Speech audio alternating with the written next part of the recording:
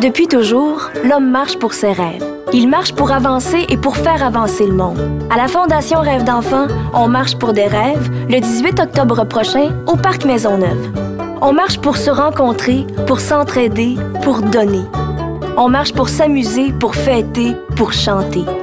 On marche pour réaliser les rêves d'enfants atteints d'une maladie qui menace leur vie. Le 18 octobre à la Marche pour des rêves, on marche pour que les rêves marchent.